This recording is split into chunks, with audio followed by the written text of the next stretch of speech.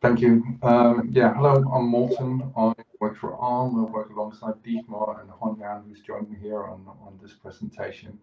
So we're going to talk a little bit about UCLAMP, and um, I think Sarah Saravana did an excellent job earlier in, in, sort of starting the party. So we'll skip quickly over the motivation slide because we all know what UCLAMP is and why it's there. Um, it's been in mainline for quite a while, um, and it has a few gaps, I think, in, in the current implementation that uh, others have experienced as well. Um, so we've had a, a, a, good look at what are the problems and, and what can we do with it um, and try to fix it. So the main issues we really see with UCLAMP is, uh, is two things. One is the, the aggregation of the, of the per task UCLAMP settings um, when you sort of combine them on a run queue.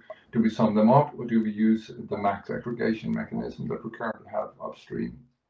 And the other thing is the uh, is the complexity of the implementation. Um, at the moment, uh, the implementation doesn't really track the clamp value from the source all the way to where they are consumed. And that means that we need to do quite a lot of computation every time we need to use uh, a clamp utilization value.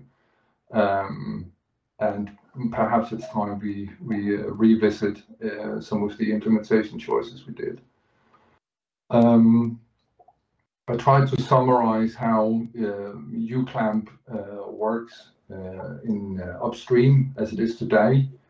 Uh, as Qais pointed out in, in uh, during Saravana's talk, UCLAMP is currently considered a performance hint that's describing the desired throughput rate rather than the, the actual desired throughput, as in a task can, can ask to run at specific frequency, but the request doesn't actually imply any any throughput uh, reservation, any throughput guarantee. So that means that if you have a run queue of uh, with two tasks on it, and you have, uh, for example, UCLAMP min set, you just take the max of the min request, and that will be the uh, the uh, min clamp applied to the utilization of the the combined run queue. So for this example, the, the resulting uh, frequency is the same if we had just one of the tasks on the run queue uh, as if we have two. Um, the, the kind of throughput or the compute capacity um, uh, in uh, in UCLAMP is, is shared with all other tasks that's on the run queue. And that's particularly unfortunate for uh, for UCLAMP Max because it kind of in the existing implementation allows UCLAMP to place as many tasks on the same CPU. It, it doesn't really have a way of spilling over to the next CPU. So in this example, I've taken uh, five always running tasks, and you can basically, if they all set a UCLAMP max of 512, which would be sort of 50% of, of, of, peak frequency, it would be totally valid to put them all on the same CPU and keep the CPU at, at 50% uh, of its peak frequency. So while all the tasks are asking to run maximum 50% of, of max throughput, they're actually only getting a tenth of the maximum throughput. And and that's that's allowed in the current implementation. And I think that makes UCLAMP, so, especially max clamping, particularly hard to use. So yeah, Dietmar, I have a question. Yeah, you, you can hear me? Yes. Vincent speaking. Yeah. So for your second use case, I would say, why are you packing all the tasks on the same CPU? That's the point. I mean, the, the point is that the UCLAMP there is just to say for this task, I want this, at most, I want this amount of bandwidth. And then you are packing all the tasks on the same CPU, but why, I would say? Well, there's no mechanism to force the, the task away. Sorry? There is no mechanism to force the tasks away uh, right now. There won't be balance to other CPUs. Yeah, right now, actually show, show, because, show that as, so just yeah, because the energy aware scheduling is is want to pack everything as much as possible. No, but this I, is I, okay. I think you're taking the example too literally, right? It's just an example of hey, if five tasks end up on the same CPU, and they all set this UCLAMP. Yeah. You're yeah. affecting others in this way. I don't think you're supposed to see it as like as a literal like like this is the only thing that's going to happen, right? No, it's, it's maybe a, somebody's like pinning their threads. Yeah. Whatever, right? But you still need to operate correctly in that situation. I think that's what. But, but the, the, point is, it's there is that I mean, you said I don't want more than five, five hundred. That's uh -huh. the uh-huh. point, and that's it. So that's why for me, it's yes, uh, but, I mean, so you, but, you, you, can't, you, you put yourself in a situation where everything is wrong. Change your configuration. You have an example with min. I think we can move on with that one. Yeah, I, I think using uclamp min is a better way to con to convince other people. Like if I say uclamp min of 100, if there is like a 100 tasks on the CPU and I, I have a uclamp min and this min moves me to that CPU, I'm the 101st. I'm like I'm living with all the 100 CPUs, and I'm not getting the perform. Uh, I'm not getting the CPU band uh, bandwidth I want, even though I specify uclamp min. Like the max aggregation cannot solve the problem that you can have like 100 CPU, uh, 100 stuff on the same CPU. Um, yeah, you satisfy the min request, but I'm not really getting any compute power. So yeah, maybe uclamp min is a better way, uh, better example. Yeah, yeah, but that's the same for that. I mean, if you're packing everything on the same, you will have the share that you you you have requested. I mean, you're you're trying to mix a share, something that is about how many cycles I would like from the CPU and how fast I would like to run on this CPU. No, it's yeah, that that's saying this is what I need. We want we want to argue in, the, in the, we want to argue that we want to get away from the max aggregation towards sum aggregation and just highlight the advantages we will we will get. Because one thing is clear with the latest patches in fine energy efficiency view, for instance we letting tasks into performance domains which are not able to to have a proper or a sane energy model calculation because of overutilization. So um, but anyway summing this up, we want to get rid of max aggregation and, and, and go to sum aggregation and explain the advantages here. Yeah, maybe we can let you guys continue the slides. And the way I presented it, you can select, pick and choose which one you want to use. So. Cool. Let me go on. We already spent seven minutes. So I, I tried to summarize here some of the issues we have with the max aggregation uh, implementation. So the current implementation, we have per task uclamp settings, but they're all applied at uh, on the run queue utilization. And it has one big advantage, and then that is we don't need to introduce additional pelt-derived signals and, and propagate them all the way up and down the, the task group hierarchy and all that. But there is also a long list of disadvantages, I think, that are hard to uh, to, to to work around. Uh, with max clamp tasks, the uh, utilization doesn't really represent the true compute demand at all anymore. So if the task is running alone and you have an effective clamp, max clamp in place, because of the properties of PELT, the uh, the utilization will just go to uh, to 1024. So we can't really say anything about that that task's true utilization. And when that gets added up with other tasks, then you suddenly cannot really distinguish what's going on in the system. And for co-scheduled tasks, they sort of eat each other's utilization, so it will underestimate the, uh, the true compute demand of those tasks.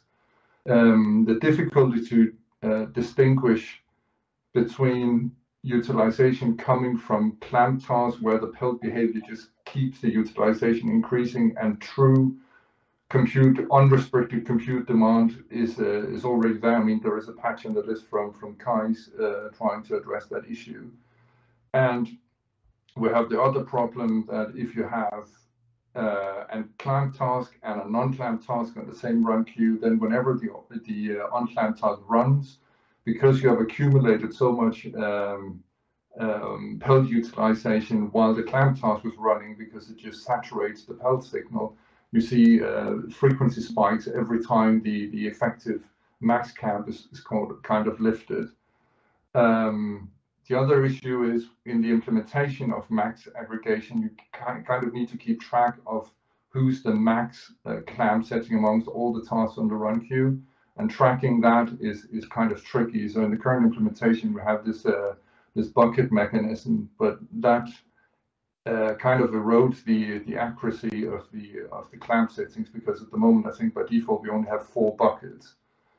Um, and then there is the whole problem that it's really difficult to reason about what will be the throughput my task can expect if I use max clamping because you are just asking for a frequency. There is no mechanism that, that kind of says how when, when should I start spilling over to the other CPUs because what is the what is the true utilization of that task? So looking at those issues, I think it really boils down to two things with the current uh, implementation. One is that uh, uclamp is not applied at the source, so we kind of add unclamped utilization up and then try to apply those per task clamps to the run queue utilization at the end, and we kind of lose information that way. So it's difficult to, to do the uh, right scheduling decisions. And then max aggregation doesn't really provide a clear policy for how do we balance clamp tasks. I mean, how much do we need to spread them? If you have two tasks or many tasks with different clamp settings, how much weight should they really carry when you do load balancing? So I think there are two possible solutions. Either we dig the hole deeper with, with max aggregation. I think it's already a fairly complex uh, implementation and it will only be get worse if we try to fix the uh, the current gaps, or we try something new and see how bad is uh, is sum aggregation, and maybe it is actually worth creating another Pelt-derived signal if the whole implementation becomes a lot simpler. Um, so who's actually using UCLAM at the moment? We, we were not quite sure. Um, given given the gaps that we, we have in the in the mainline implementation, it can't be a huge user base At least we have. But we know Android is using it. Um, but at least on Pixel 8, they don't really use the full upstream solution. They use it kind of on task level, but then they have something built on top using Android vendor hooks that means that it actually ends up being sum aggregation on task group level. So it I seems that most users, yeah. Yeah, like just the statement about the pixel with the group throttling. Uh, there is a bit of misunderstanding over here because this is that like the things you're talking about in the slide over here. They are they've been added for issues with CPU shares usage and starvations problem. Well, I think in the past there has been a talk, so I can understand why it might be related to uclamp max. But actually, what I've done is, is like that first solution you're talking about, the filter, that should be there. So we should be having a filter mechanism to handle the issues. But I do agree that the filtering might not be upstream friendly. I do think there is a third solution that's not in your slide, but I don't think we have a lot of time, so I'll let you go on. But I just needed to to clear up that this throttling stuff, it's not that it's not really related to uclamp max directly. Um, but uh, okay, maybe it's not this one, but Pixel does do addition of uclamp, right? It has implemented some. Maybe it's not the specific configurations. Has it not? I thought Pixel does addition of uclamp. Maybe it's not the exact configuration, but you guys Additional do uclamp? Um, no. Like adding the uclamp from tasks, no? Uh, yeah, that's it's it's been done for a different reason, but like I would say that like it's, it's to handle CPU shares related issues. Okay, so these ones I did I did like verify many times because that's that has been crept up, but like no. Okay. I, I, think we were aware of this issue that uh, those two config options, they might target uh, the initial problem of CPU shares not giving what you wanted. But I think what in our discussion, we, we, we think more and more that the, the, the sum aggregation of uclamp max actually can provide you with this functionality as well. So we could have a mainline implementation, which you guys are using also for your initial CPU shares issue. Uh, but we, we, can take this offline. It, it, it's a too long discussion.